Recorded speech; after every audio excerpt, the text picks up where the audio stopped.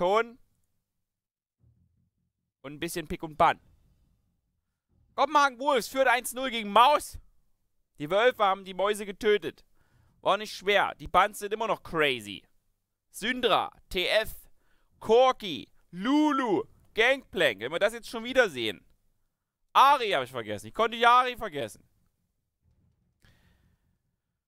Äh, kommt zu den, zu den Gamer Days in Leipzig. Was sind denn die Gamer Days? Haben wir nicht schon genug mit TubeCon, Gamescon, Con, Comic-Con, Dreamhack? Leute. Maxim, wie groß bist du? Ich bin 1,83, mein Hase. So, ihr seht, seht ihr die Buns? Die sind alle Midlane fokussiert. Holy shit. GP fehlt jetzt noch. Zumindest war der vor uns gebannt. Vielleicht lassen die den jetzt auch open. Open mit. Ah. Ihr merkt, ich werde langsam aggressiv. Wenn ich aggressiv werde, dann... Ja, da ist er. Wenn ich aggressiv werde, dann werde ich immer böse. Ja. Die Musik macht mich auch aggressiv. Lass uns die Adresse herausfinden und ihm eine Pizza bestellen. Sherlock on the Wakes. So, Kopenhagen Wolves nimmt den guten Alistair. Kann ich verstehen. Alistair ist ein guter, cooler Pick. Da sehen wir auf der anderen Seite wieder Braum. Das heißt, entweder wird jetzt Kalista kommen oder ein anderer cooler AD Carry und Braum als Support. Dann haben wir wahrscheinlich Gragas. Oder an irgendeinen äh, Jungler, der eine Antwort darstellen soll, wie zum Beispiel Rek'Sai oder Nidalee. Nidalee! So, und dann, was haben wir dann? Dann haben wir Midlane, hoffentlich nicht Six. Six hat mir überhaupt nicht gefallen. Six war ganz schön äh, lame. Ja? Lame. Oh, Fiora. Gehen wir auf den Split Push. What? Sehr cool. Würde ich mich übrigens freuen. Fiora wäre definitiv cool. Wäre definitiv cool. Kalista nun dabei. Haben wir auch jetzt schon gesehen. Ne? Kalista. Kalista wird jetzt quasi Alistair weggenommen. Und wenn Kalista gefirstpick wird, wird äh, Kalista Alistair weggenommen. Und jetzt ist. Jetzt nehmen wir quasi Alistair die Kalista weg. Das heißt, wir, nehmen, wir, wir sehen jetzt einen Toplaner zuerst, was ja sehr seltsam ist. Das heißt, Kopenhagen kann lange überlegen, was für Toplaner sie gegen Fiora schicken wollen. Es gibt unterschiedliche Möglichkeiten. Du kannst entweder sagen, du bist Malfight und sagst, lose the lane, win the game. Na, wenn du hart engagest. Du nimmst Poppy und sagst dir, lose the lane, win the game. Na, so oder später wirst du auf jeden Fall losen. Und hast aber einen besseren Engage. Wir haben leider noch nie gesehen, dass gegen eine Split-Push-Kombo ein anderer Split-Push-Champion genommen wird. Zum Beispiel Jax. Jax gesnowballt, GG. Na, also übel brutal. Übelst guter Solo-Dude. Was sehen wir nicht? Wir sehen jetzt hier irgendeinen Tank. Hier irgendeinen ADC. Ja, Jungler und ADC müssen jetzt kommen. Midlaner? Die zeigen die Midlane? Alles klar, ich zeig einfach mal die Midlane. Why? Normalerweise verdeckst du deine Midlane auf der blauen Seite so ein bisschen, außer es ist ein OP-Pick. Victor ist nicht OP. Okay? Victor ist gut. Aber ist nicht so, dass ich sage, totaler Abuse, wenn man diesen Champion nimmt. Mm -mm -mm. Thrash wird jetzt eingeloggt, das bedeutet, man kann jetzt hier auf Mausport-Seite noch einen Jungler nehmen und die Midlane noch verdecken. Aber sie wollen wieder total crazy sein. Aber ich würde jetzt... Also sie müssten jetzt einen Jungler nehmen als nächstes. Und sie haben noch eine Auswahl. Sie können sagen, ich kann noch Gragas nehmen. What the f... What?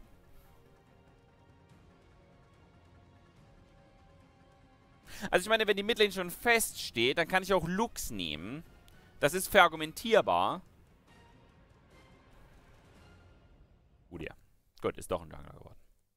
Mausbot sagt sich, wir gehen full in A-Mode mit dem Solo-Q Udia. Übrigens 57% Winrate gerade. Udia. 57%. Das ist sick. Das da unten finde ich sehr cool. Also, Caitlyn ist total okay. Caitlyn ist nichts Besonderes. Kann, auf, kann Kalista am Anfang dominieren. Später haben sie ein völlig unterschiedliches Konzept. Aber sie sind äh, zwei sehr gute Champion. Oder nimm selber Lucian für die Langeweile, weil Lucian kann man immer nehmen. Aber Ramos ist eine ziemlich coole Idee. Ramos ist eine sehr gute Idee, weil er wird halt gegen Fiora sehr lange standhalten können. Hat zwar nicht so den krasse Kill-Pressure, die ist quasi non-existent. Aber er kann wunderbar gegen sie halten. Und ich glaube, um einiges länger als seine Kumpanen. Er kriegt zwar trotzdem den absoluten Schaden ab, das ist halt super ätzend, aber das ist halt so.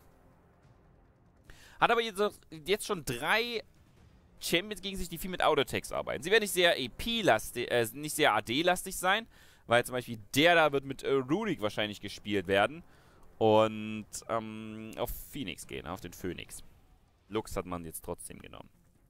Lux, Lux ist jetzt nicht so krass gegen Ramos. Also wenn Ramos gut telegangt, wobei er, hat, er geht aktuell noch auf Flash.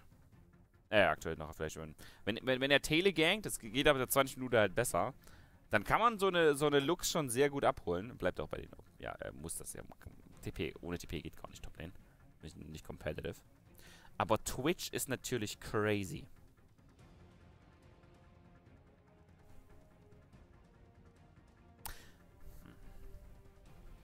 Twitch wird nie gesehen, okay? Twitch wird nie gepickt.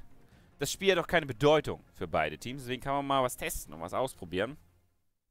Was ich ganz cool finde. Twitch hat doch einen, Twitch hat doch eine gute Mechanik. Und zwar, wenn Ramos reinrollt, wie ein Geisteskranker. Das haben wir, das haben gesehen, war sehr erfolgreich bei das Atom. Ja, das Atom an der letzten Woche LCS, der perfekte Champion of Ramos. Na, der hat immer mehr den Skill decreased. Eigentlich seltsam, dass er nicht Tam Kench gespielt hat, aber er war, glaube ich, häufiger gebannt. Fakt ist, dass das Atom immer reingerollt ist und eh, eh, Erdbeben, ne? Und dann äh, hast du deine Aufgabe quasi schon gemacht. Und hier ist es nicht schlecht, bei Twitch kann man der Ultimate folgen. Twitch macht die Ult an, hat übelste Range, muss nicht in die Gefahrenzone reingehen, weil es gibt ja einige Gefahrenzonen. Aber wenn Udia einmal vor Twitch ist, der wird Twitch einfach die Seele wegballern. Das gleiche gilt auch für Fiora. Aber sollte er sicher stehen, kann er komplett durchulten. Und er kann vor allen Dingen quasi auf, den, auf das Ziel gehen, was mit dem Taunt belegt ist, also Rüstung geschreddert und es ist verspottet, bla bla bla. Und er penetriert den Rest. Das heißt, selbst wenn die Tankline vor ihm stehen sollte, wird sie trotzdem weggeballert. Das ist gut. Na, Twitch. Twitch kann man immer für argumentieren, okay? Pinoy ist anscheinend Twitch Main. Aber Twitch ist die tausendmal schlechtere Rek'Sai. Ne? Die beiden sammeln Stacks auf dem Gegner. Rek'Sai macht E und Atomexplosion. Und er macht E und passiert einfach gar nichts. Weil es so hart gekippt ist. Oh Gott. Nö, das, nö, nö, nö. Nö, nö, nö. Solange wir in der Midlane bleiben, muss ich leider muten, weil Lux Lache ist die schlimmste Lache auf diesem ganzen Planeten. Nö. So. Der Dan hat sich schon in... Alles klar. Alles klar. Gut. Rek'Sai Kalista, äh, Rek'Sai Kalista sag ich schon. Kalista und Thrash, klassische Combo. Die ist halt immer gut. Kann man definitiv um, spielen.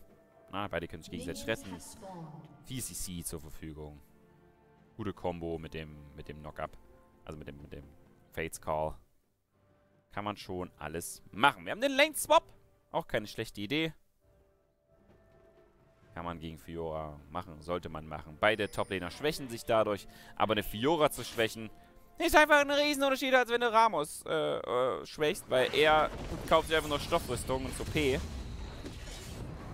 Und der gute Inso muss natürlich sehr viele Items bekommen und Ramos hat übelst gute... Ramos hat, glaube ich, der Champion der mit die besten Base-Stats bekommt.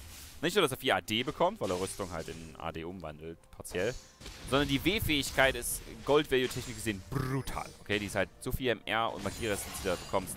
Das ist schon stupid. So, Pinoy, er ist noch in der Hand. Yay. Halber P. Und es tickt. Ja.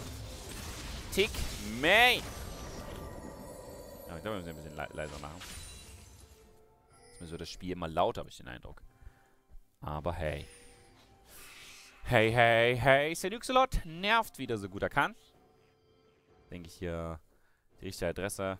Im letzten Spiel kommen wir und beobachten, wie dermaßen entscheidend das ist, den Gegner auf die sogenannten Ketten zu gehen. Das ist wirklich sehr, sehr wichtig. Dino Dan aber fleißig dabei. Damit, wie gesagt, den großen Vorteil, dass sie hier zu zweit arbeiten. Und damit. Vor allem ist es Phoenix Udi und Phoenix Udi ist halt echt flott. Dann ist halt alles andere als langsam. Das ist natürlich nicht schlecht. Oh. Definitiv nicht schlecht. Midlane bleibt noch entspannt, wobei man sagen muss, dass hier bereits viel Schaden angerichtet, äh, viel Farm geholt wurde von Soren. Also großen Abstand. 18 zu 10, das ist wirklich viel. Also Zerbex muss da definitiv mal die Triadosen anziehen. Lane Swap. Na, die nächste Wave ist unterwegs. Auch der Udia. Machen zwar aktuell noch nicht so viel Schaden. Jetzt ist da vom Schaden ja gut dabei. Und auch Ramos ist not bad. Okay, Ramos hat halt ziemlich gute Base-Werte. Der Passive. Kann man definitiv mitarbeiten. Und Sevex, eieiei, der verliert hier Vasallen ohne Ende. Hat wenig Mana. Wenig. Das Problem ist halt, du verpasst Vasallen. Das heißt, mit Dorans Ring automatisch, du hast weniger Mana. Ne? Ist ja nicht diesen Bonus. Top-Lane-Turm ist aber gefallen. Midlane Gang. Schöner Cocoon. Das QSS und das Cleanse hier eher sofort eingesetzt. Ganz sauber. Geht da raus. Ist beim nächsten Gang immer noch mit dem Flash ausgestattet. Also war, denke ich, hier die vollkommen richtige Entscheidung. Turret wird es genommen. Ist ein bisschen verzögert. Das findet ihr euch auch zu gewissen Nachteilen. Oh, Pinoy, der ist da. Oh, der Stun kam trotzdem durch. Pin so mit dem W und dem hier kommt erstmal davon und Pinoy. Du bist jetzt ein bisschen alone in the dark. Du hast schon ein paar Speere gesammelt. Schöner Knock-Up. Das war's. Der ist down. Pinoy überlebt das und Nardeus wird ebenfalls fallen. Die Speere waren nicht genug. Sir Nuxelot, der Malfight unter den Supportern, na, kommt da einfach dazu. Schön gemacht. Kopenhagen Wolves hier mit zwei weiteren, oder zwei Kills nun insgesamt. Und haben dann natürlich auch dem, den richtigen Personen das Ganze gegeben. Da sehen wir nochmal die Verspottungsmechanik. Beide könnten... Ja, der tradet schon nicht... Oh, Beanzo geht in die Vasallenwelle rein. Das ist nicht gut. Leider jetzt den Trade sofort verloren. Aber Wicked wird lange durchhalten. Na, Wicked ist ja das Atom der Challenger Series. Deswegen kann man da gut arbeiten. Aber das war stark. Das W mit dem hier war natürlich zeitlich nicht optimal. Ich habe den Ton natürlich komplett vom Replay runtergenommen, weil es vorher so gesagt hat. Aber das war krass. Sofort hochgeworfen. Beans hat auch kassiert. Holy shit, hat er viel Schaden bekommen. Und Pinoy übersteht das Ganze. Dangerous Game und Level Up machen natürlich das Überleben einfacher. Sehr, sehr gut. Flash. Oh, der Dash kam nicht richtig durch. Das heißt, Beanso hier brutal im Fokus. Der Powerball. Putz. Und er ist... Oh, er ist ziemlich lange am Leben. Starkes B. Aber es reicht wahrscheinlich nicht aus. Nach 1 Q und er ist down. Gut. Schade, Popade. Aber du hast natürlich mit Ramos einen Champion, der unglaublich viel CC hat. Das ist ein guter Gangpartner gegen AD-Champions allgemein, weil er macht dann denen halt ziemlich viel Schaden. Aber es ist ein guter Gangpartner, weil Powerball ist super nice, schöner Knockup, schöne Verlangsamung, das E natürlich auch. Und eine Elise, die Kills bekommen hat. Und generell Elise ist, ne? die macht halt übelsten Damage. Deswegen ist das total okay. Gott sei Dank lässt sich hier vertreiben und ändert den Level-Nachteil. Jetzt kommt der dreckige Dan dazu. Kann aber wenig machen, außer hier die Lane kurz anzupushen. Was natürlich Lux wieder eh nicht freut. Aber hey. Kann man machen. Oh, Sinux, das ist Level 3 erst. Oh, der ist so tot. Der ist einfach tot des Todes. Der hat überhaupt keine Chance gehabt. Ja, der Lane-Stop kommt für Mousesports aber immer noch sauber durch. Also die kriegen das hier ganz gut hin. Zumindest die Botlane rasiert. Obwohl der Twitch die Kills bekommen hat. Jo, Flash. Hook hat gesessen! Pinoy, mach's gut. Du bist down. Wurde es einfach weggeudiert. Wickets, Teleports. Oh, run, my son, run. Noch keine Schuhe. Oh, er hat getanzt. Wow, jetzt ist er tot. Ja, das war gut, Wicked. Und mit gut meine ich, das war extrem schlecht. Ja, dann würde ich einfach genau da langrollen, du Sohn. Was ist das denn? Sag ja, Wicked ist das Atom. Ach, das, das Atom der Challenger Series. GG. Ja. GG. Aber das ist cool, so bleibt spannend. Mousesports also noch nicht äh, verloren, obwohl es hier oben der Toplane nicht gut geht hat Wicked das wunderbar ausgeglichen gerade. Eieiei. Das ist wirklich... Also ich muss sagen, deswegen caste ich Challenger Series. für die Challenger Series Big Plays. Starring Wicked. Der No-Item-Teleport gegen 3-Mann Botlane into Powerball into Hook. Das ist doch äh, nicht mehr normal. Er geht auch ziemlich viel Stoffrüstung aktuell. Was ich ein bisschen seltsam finde. Ich finde, das beste Ramos-Bild ist immer noch Barmies kombiniert mit dem ähm, Don Panzer. Scheint über Don Panzer First zu gehen, was ich nicht so gut finde, weil du brauchst trotzdem HP. Ja, HP ist gut. Aber hier dann natürlich abartige Defensivwerte. Und der prozentuale Schaden macht sich halt... Man sagt halt, er macht sich nicht so bemerkbar, aber es spielt halt keine Rolle, ob du viel oder wenig prozentualen Schaden bekommst. Es ist eh absoluter, also es spielt keine Rolle. Da habe ich lieber trotzdem mehr HP für die Auto-Attacks. Also für die restlichen, nicht für die schwachstellen Auto-Attacks. Naja, der Dan nimmt den Blue Buff. Sagt sich, Sebex, dem geht's blendend in der Mitte. Drache wird jetzt auch gemacht. Kalista sollte man sowas auf jeden Fall sehr, sehr schnell erledigen. Ripperoni zieht ihn bei knackigen 500 raus.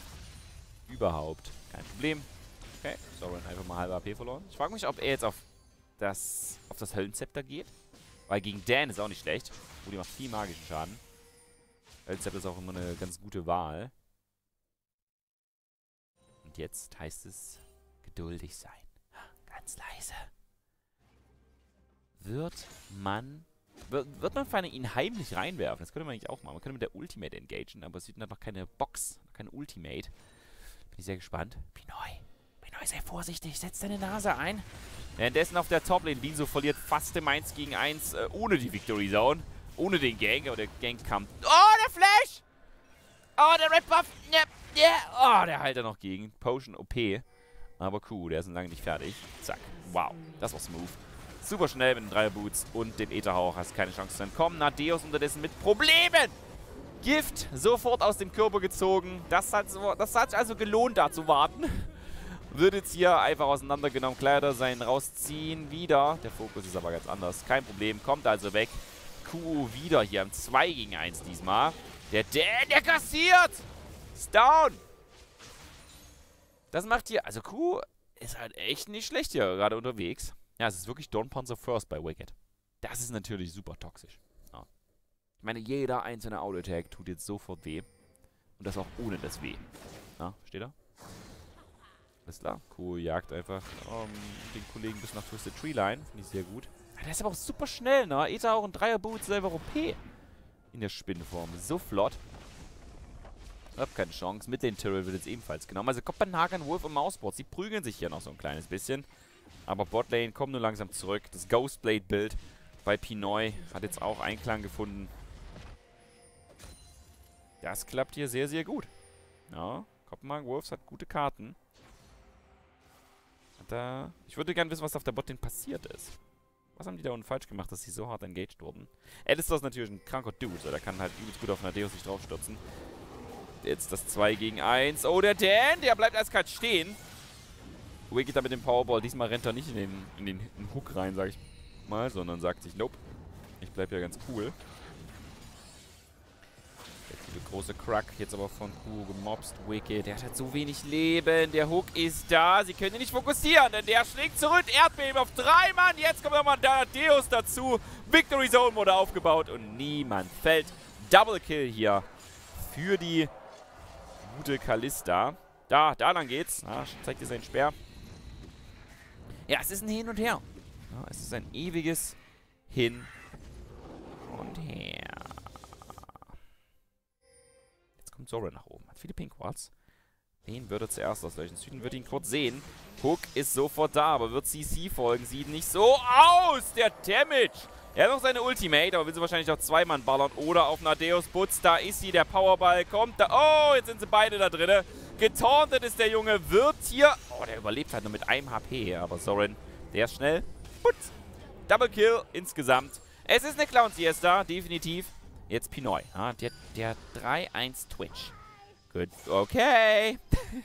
Gecountert durch den Busch. Konnte ihn nicht sehen. Ja. Jetzt wird er sterben.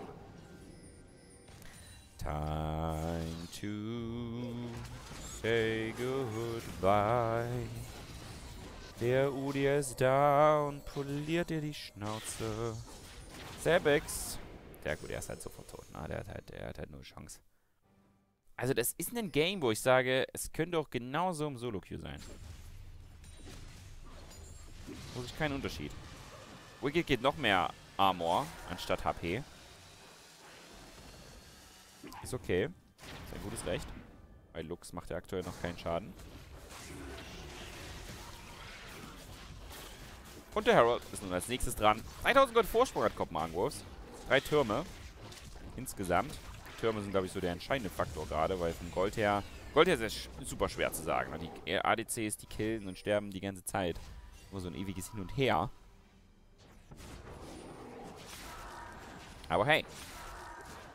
Adeus. Der ist schon wieder auf dem Weg nach oben. Wicked. Oh, jetzt, das ist jetzt gefährlich, weil Wicked macht jetzt sein W an, tauntet ihn und schaut euch den Damage an. Ne? Das ist nur... Das war nur Ramos gerade und hat ihn fast getötet. Ja, läuft. Jetzt hat er sogar ein bisschen AP dazu getan, Gott sei Dank. Aber war close. Ja, war wirklich sehr, sehr close. Und das muss man dazu sagen, obwohl er Blade hatte. Ja, Blade heilt einfach überhaupt nicht. Oder heilt schon, bemüht sich, aber er hat ihn beinahe mitgenommen. Und das war das Lustige an Ramos. Ich glaube, ich werde ihn morgen nur Toplane die ganze Zeit spielen. Weil er einfach nur stumpf ist. Stumpf ist bekannterweise, bekannterweise, bekannterweise kann man auch sagen, Trumpf.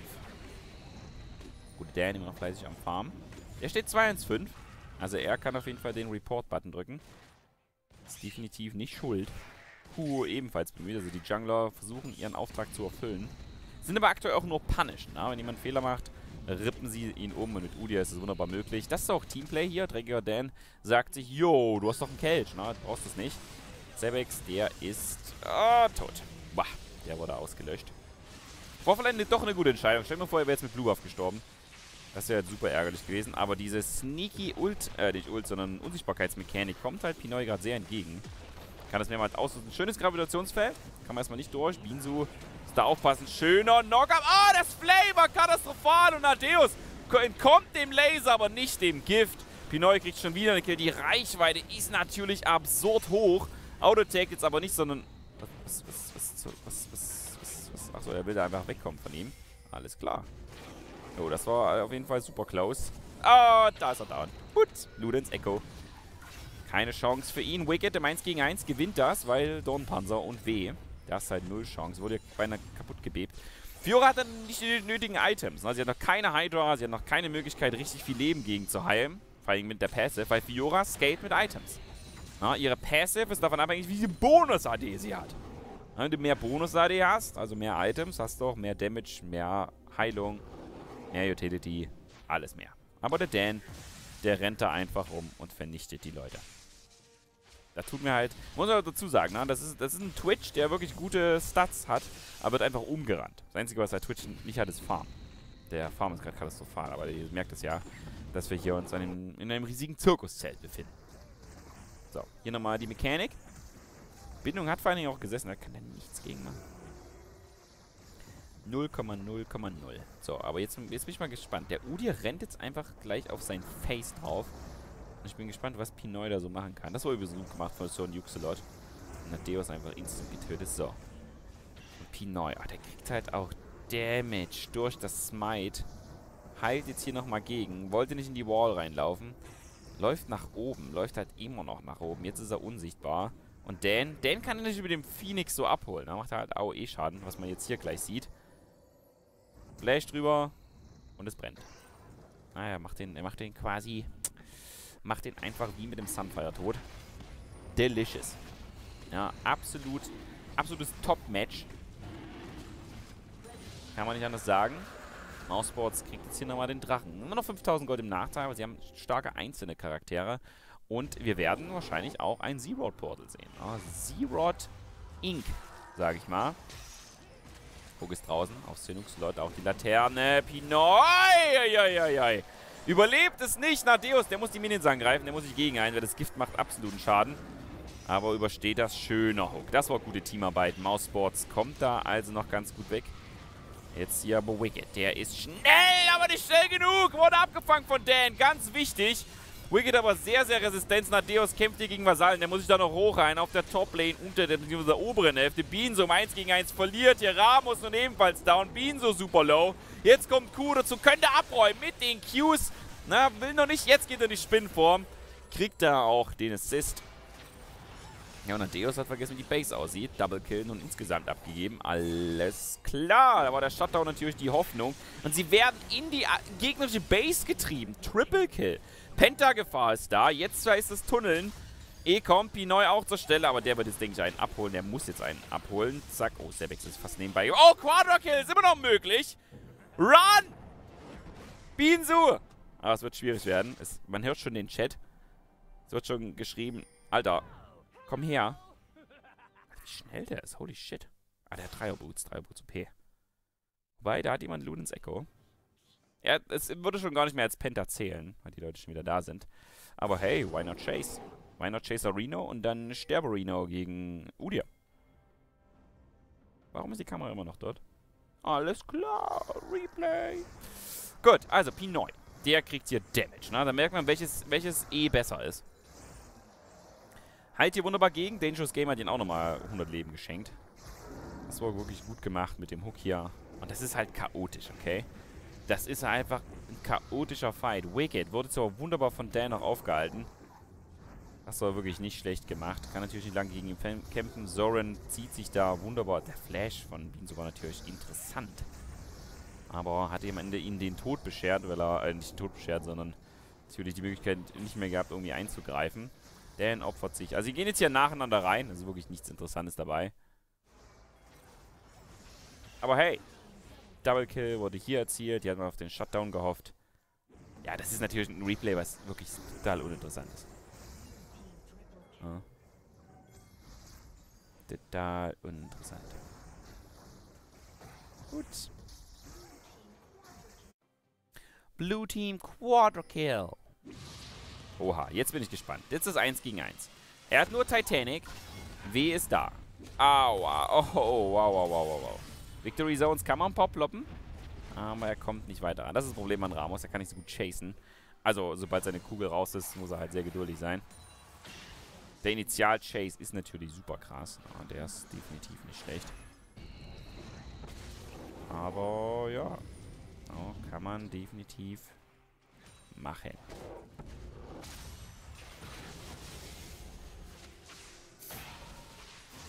Soren? Der hat mittlerweile... Boah, wie kann das 62 zu 38 sein?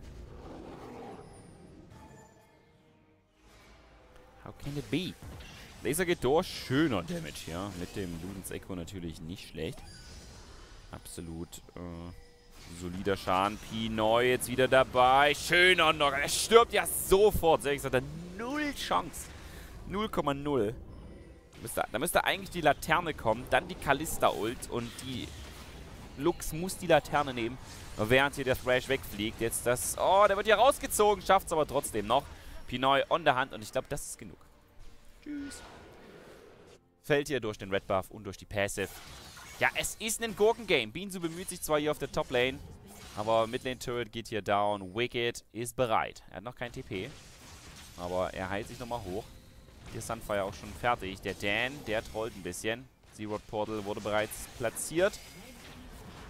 Kann damit aber... Kann damit die Botlane so ein bisschen länger aufhalten. Ihn so auch bemüht, hier oben Stress zu machen. Und jetzt ist Wicked da.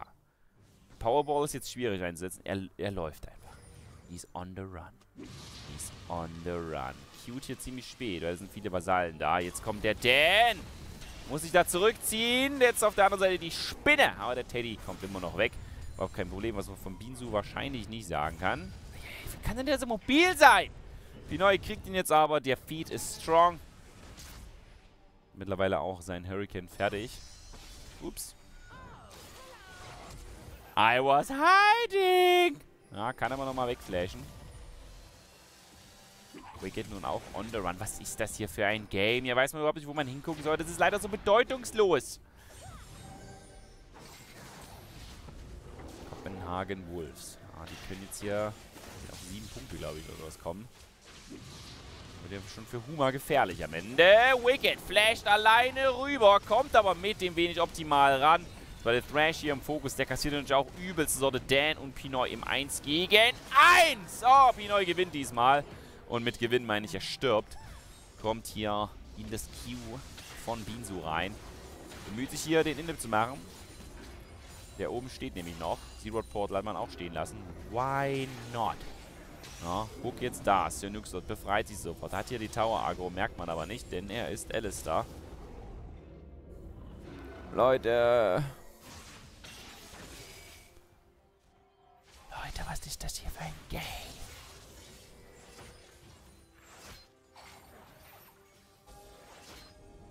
Ich meine, es ist ja nicht mal Solo-Queue. Ne? Und hätte, hätte ja schon Team Rot surrendert. Aber der Wagen. Na, du nimmst den Wagen und rollst einfach nur komplett los. Wir haben jetzt auch übelste Items bei Zoran fertig. Rabadons, Ludens und den Hexcore ja von Natur aus. Das ist halt der übelste Schaden. Jetzt kommt Wicked dazu, E und er ist tot. Putz, keine Chance. Schön gemacht. Aggressives TP. Play, um Dan abzuholen. Weil Dan, Dan ist der Einzige, der Pinoy übel auf die Ketten geht, okay? Der Einzige, der Pinoy die ganze Zeit tötet ist Dan. Jetzt kommt die Kalista-Ult, überhaupt kein Problem. Das 1 gegen 1, da ist der Crit OP! Lebt halt immer noch! Schön gemacht. Und wenn es wenig ist, reicht der Crit-Damage trotzdem aus, damit er hier in diesem Zustand 2 gegen 1 auch gewinnt. Das ist halt bei Kalista das Problem, dass sie halt ihre, ihre eigene AD bei Autotext auf 0,9 drückt, statt 1,0. Damit sind auch die Crits schwächer. Das ist halt wirklich einfach eine seltsame Mechanik. Natürlich hat sie dadurch um einiges mehr Mobilität. Und werdet diese lustigen Sprünge, aber auf Kosten des äh, Gesamt-AD-Wertes. Oder des AD-Wertes, der von Autotext konvertiert wird. Oh, outplayed, son! Nicht der Victory Zone verloren, aber man muss sagen, es war 1-5 gegen 6-1 und es war close. Da sieht man mal, wie balanced Fiora ist. Sie hat nur eineinhalb Items. Wicked jetzt vom Laser betroffen. Aber noch genug HP das Ganze zu kompensieren. Der Supporter will da raus. Der Nuxelot zur Laserlot ist down. Wer kriegt den Kill? Natürlich der Udia. Botlane Turret geht jetzt ebenfalls drauf. Überhaupt kein Problem.